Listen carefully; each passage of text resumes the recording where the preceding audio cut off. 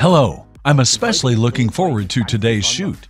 We're taking a look at how our measurement technology solutions ensure reliable processes in a brewery.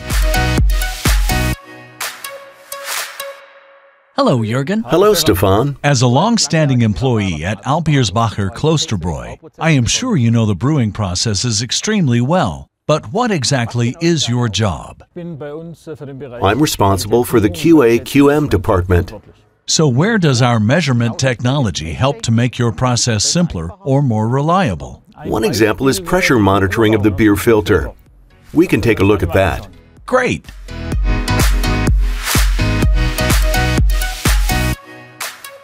This is the production step where the beer is filtered.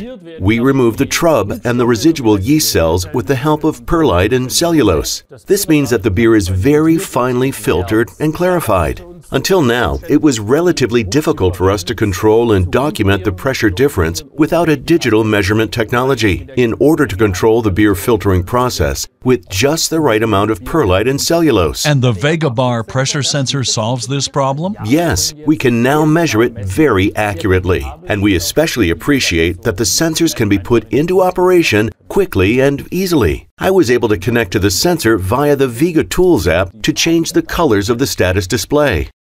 To be able to detect changes in the process quickly. Exactly. Thanks to the measurement technology and its excellent visibility, it means we can react much more quickly to any abnormalities. Of course, we also have other applications with strict hygienic requirements, and we've installed Vega sensors on those too. Follow me, please.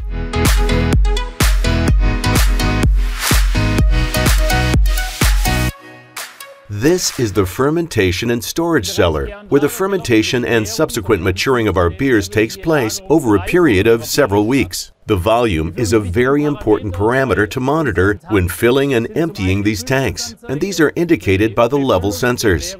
After all, we need to know how much beer is in there. The second parameter is the pressure. For example, to ensure we achieve correct saturation of the beer with CO2. The Vega sensors provide us with absolutely reliable, accurate values, so we get consistent product quality. Very nice.